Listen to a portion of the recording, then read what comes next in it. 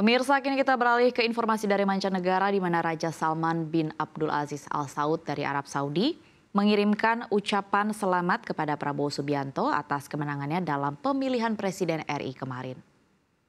Ucapan selamat ini dilaporkan oleh media Saudi Press Agency pada Kamis.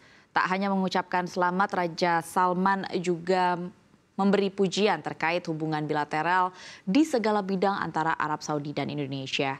Dalam kesempatan itu, ia mendoakan agar Prabowo selalu sukses dan warga Indonesia semakin maju.